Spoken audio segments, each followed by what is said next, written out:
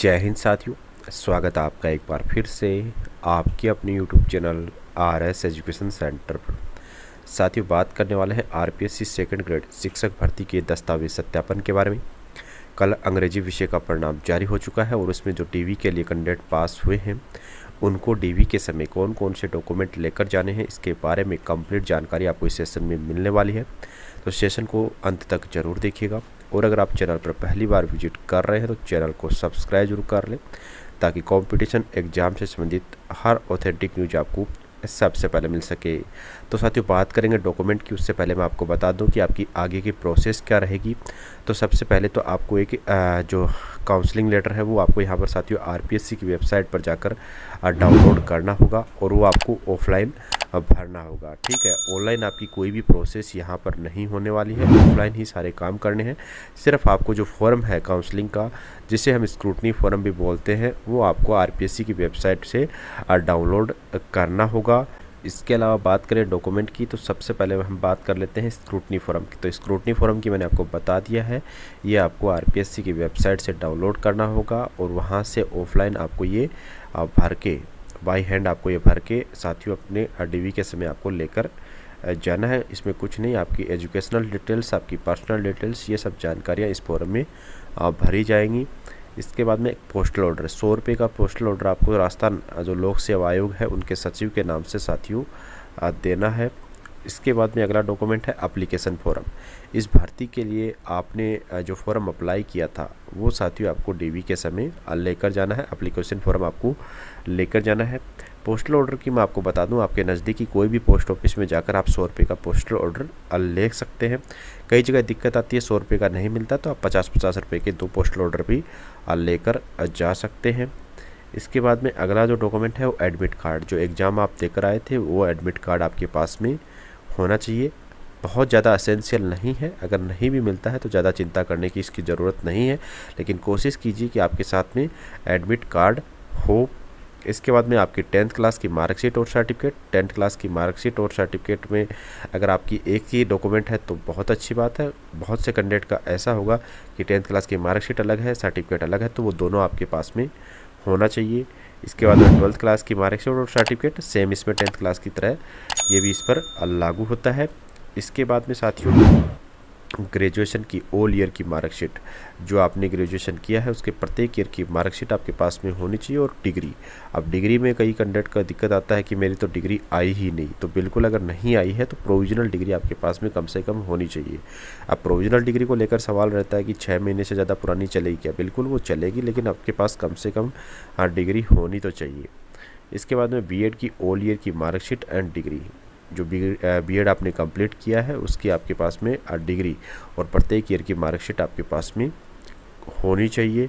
अब in educational document में अगर आपके पिताजी के नाम में, आपके नाम में या फिर आपके मदर के नेम में कहीं भी करेक्शन है तो बिल्कुल उसका अफिडेविट आपको देना पड़ेगा। इस चीज़ का खास करके ध्यान में रखिएगा।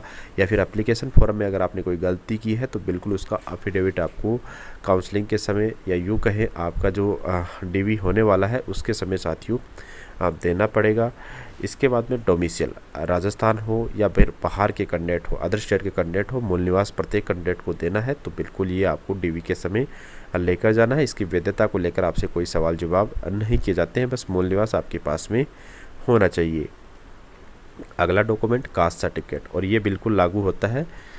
उन कैंडिडेट के लिए, जो O B C S C S T M B C वो भी राजस्थान के। यानी राजस्थान की इन चार श्रेणियों के जो भी कैंडिडेट हैं, इनको अपना कास्ट सर्टिफिकेट देना होता है। अगर आवेदन की अंतिम तिथि के बाद का है तो बिल्कुल आपको यहाँ पर एक शपथ पत्र देना होगा। शपथ पत्र का फॉर्मेट मैं आपको अपने Telegram channel R S education centre पर उपलब्ध करवा दूँगा। तो जो भी साथी टेलीग्राम चैनल पर नहीं है, टेलीग्राम चैनल ज़रूर ज्वाइन कर लें। इसके बाद में अगला डॉक्यूमेंट है साथियों, इनकम सर्टिफिकेट। अगर आपने अप्लीकेशन फॉर्म में अपनी इनकम यहाँ पर ढाई लाख से कम भरी है तो यहाँ पर आपको इनकम सर्टिफिकेट देना होगा। अगर आपने ये अपनी इनकम गलती से ढाई लाख से कम भर दी है तो बिल्कुल यहाँ पर आपको सौ रुपये का जो पोस्टल ऑर्डर है, वो आरपीएससी सचिव के नाम पर देना होगा। उसके बाद में आपको इनकम सर्टिफिकेट देने की कोई ज़रूरत नहीं है। इसके बाद में अगला डॉक्यूमेंट आ जाता है आपका आईडी प्रूफ आईडी प्रूफ में आपका आधार कार्ड आ जाएगा, आपका पैन कार्ड आ जाएगा, आपका ड्राइविंग लाइसेंस आ जाएगा, आपका वोटर आईडी कार्ड आ जाएगा। इनमें से आप कोई भी एक डॉक्यूमेंट जो फ़ोटोयुक्त आईडी है, वो डीवी के समय लेकर जा सकते हैं।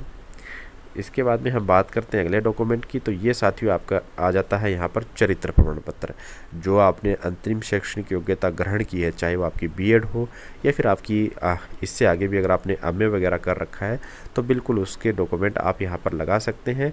लेकिन जो भी अंतिम शैक्षणिक योग्यता लगाओगे, उसका चरित्र प्रमाण पत्र आपके पास में होना चाहिए। ये आपकी पर्टिकुलर जो संस्था है, वो जारी करती है। अब इसको लेकर आपके मन में डाउट रहता है कि मैंने तो 2017 में ही मेरी तो बीएड कंप्लीट हो गई थी एम ए कंप्लीट हो गई थी। उस टाइम का मेरे पास करेक्टर सर्टिफिकेट है, क्या वो चलेगा या फिर अभी लेटेस्ट बनाओ तो ये बिल्कुल आप चाहिए छः साल पुराना हो चाहिए अभी लेटेस्ट का हो। दोनों वैलिड रहते हैं, बस आपके पास में होना चाहिए। इसके बाद में दो राजपत्रित अधिकारी, कोई भी फ़र्स्ट ग्रेड के टीचर से आप ये बनवा सकते हैं। इसका फॉर्मेट चरित्र प्रमाण पत्र का मैं आपको टेलीग्राम चैनल पर उपलब्ध करवा दूँगा। दो अलग अलग राजपत्रित अधिकारियों से ये आपको अब बनवाने हैं। इसके बाद में अन्य प्रमाण पत्र, जिसमें आप जैसे मान लीजिए विडो डाइवोर्स ठीक है, या फिर स्पोर्ट्समैन पीएच या फिर एक्स सर्विसमैन कैटेगरी से हैं तो बिल्कुल यहाँ पर आपको अपनी कैटेगरी यहाँ पर डिस्क्राइब करनी होगी, यानी उसके डॉक्यूमेंट आपको देने होंगे।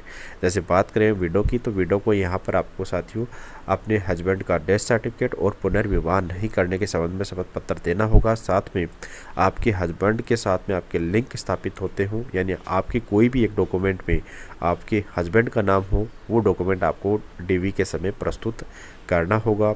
इसके अलावा डाइवोर्स को डाइवोर्स की डिग्री जो कि आवेदन की अंतिम तिथि से पहले की होनी चाहिए। पुनर्विवाह शपथ पत्र मैंने आपको बता दिया है। स्पोर्ट्स को स्पोर्ट्स का जो सर्टिफिकेट बनता है, वो यहाँ पर साथियों देना पड़ेगा। और एक्स सर्विसमैन को जहाँ पीपीओ और डिस्चार्ज बुक जो आपकी रिटायरमेंट के समय आपको मिलती है, वो डीवी के समय ले कर जानी है। अगर पीएच कैटेगरी से हैं तो पीएच का जो लेटेस्ट सर्टिफिकेट बन रहा है आजकल डिजिटल सर्टिफिकेट वो आपके पास में होना चाहिए। इस चीज़ का खास करके ध्यान में रखें। आवेदन की अंतिम तिथि से पहले का वो डॉक्यूमेंट होना चाहिए। शपथ पत्र में अभी आपको डीवी के समय ओनली संतान, दहेज और अविवाहित के ही शपथ पत्र देने हैं। अगर आप एक मेरिड कैंडिडेट है तो यहाँ पर आपको संतान संबंधी घोषणा पत्र देना पड़ता है।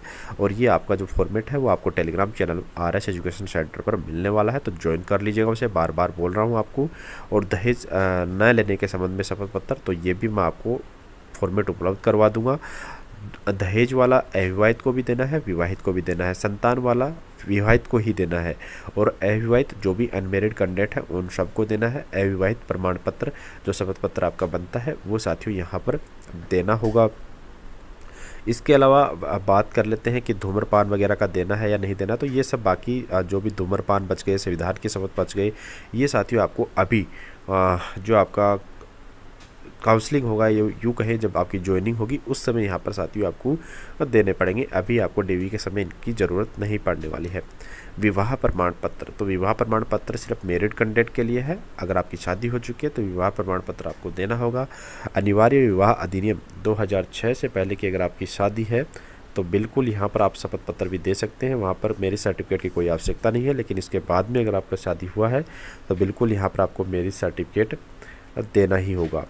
इसके बाद में एनओसी अगर आप किसी दूसरे डिपार्टमेंट में, राजस्थान के किसी दूसरे डिपार्टमेंट में पहले से कार्यरत हैं और अब उस जॉब को छोड़कर इस जॉब में आना चाहते हैं तो बिल्कुल आपको यहाँ पर एनओसी देनी होगी।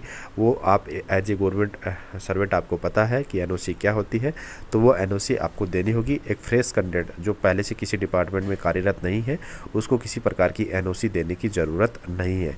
तो साथियों, ये तमाम डॉक्यूमेंट हैं जो अंग्रेज़ी विषय के डॉक्यूमेंट वेरिफिकेशन के समय आपके चेक होने वाले हैं। इसके अलावा आपको कोई भी डॉक्यूमेंट यहाँ पर साथियों नहीं लेकर जाना है। अगर इन डॉक्यूमेंट में कोई भी डाउट है तो बिल्कुल आप Telegram channel R S education centre join करके मेरे मोबाइल नंबर आप प्राप्त कर सकते हैं और वहाँ से आप कॉन्टेक्ट करके बात कर सकते हैं। आपका सॉल्यूशन साथियों आपको अब बता दिया जाएगा। तो इस वीडियो में दी गई जानकारी अगर आपको अच्छी लगी हो तो वीडियो को लाइक ज़रूर करें।